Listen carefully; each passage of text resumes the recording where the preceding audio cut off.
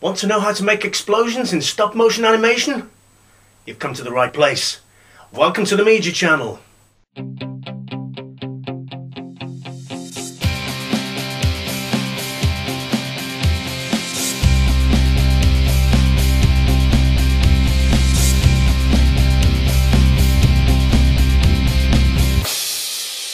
Meejah.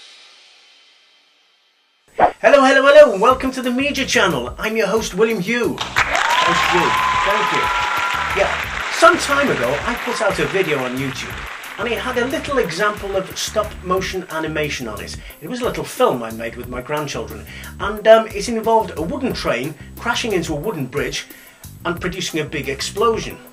Well, this little disaster movie didn't go unnoticed. Oh no. And I've since had a message from Kid Cypher, and he said, Do you think you could show me exactly how you made that explosion? Well, yes. Yes, yes, I can.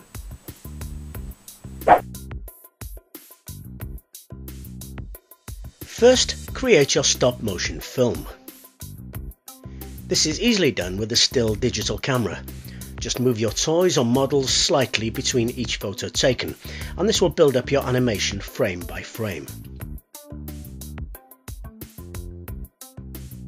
You can check how your animation will play by opening the photo folder in Windows Picture Viewer and clicking through the sequence one by one.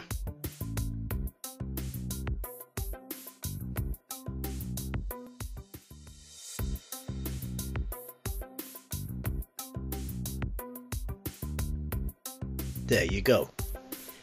Happy with that? Okay, then let's add the explosion.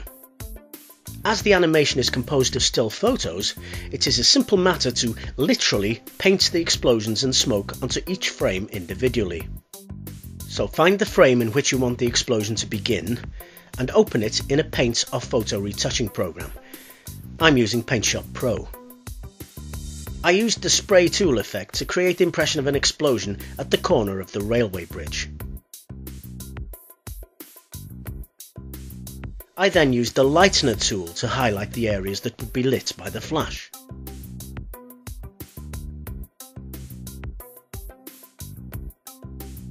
And when you have finished with this image, then move on to the next frame and chart the progress of the explosion frame by frame. It's a good idea to keep the previous frame open whilst working on the current frame, as this gives you a reference to the progress of the blast.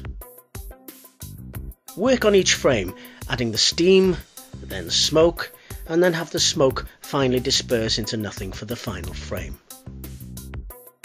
When all your photos have been modified, import them into Windows Movie Maker, or any other editor. Select all the images and drag them to the timeline.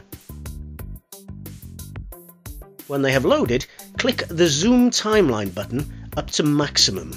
You will see the timeline images stretch to a much longer length. This will allow you to work a much greater detail. Click on the first image and grabbing the right hand edge of the image, trim the length to about 0.24 of a second. Continue in this fashion with every image. and you will end up with a nice compact clip like this.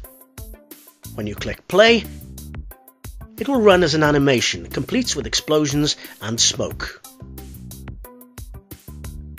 All you need now is some sound effects to complete the illusion.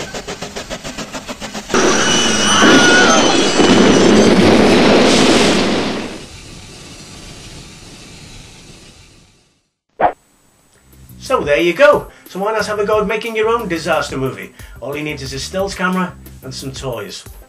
And if you do, why not send it in as a response? And we'll show the world your filmmaking capabilities. Well, that's all for this episode. Um, I've no idea what I'll be doing next time, so why don't you just pop in and see what I'm up to? Or you could always, of course, subscribe, because there is a button up there for that very purpose. Well, until next time, this is William Hughes signing off. See you again on the Meejah Channel.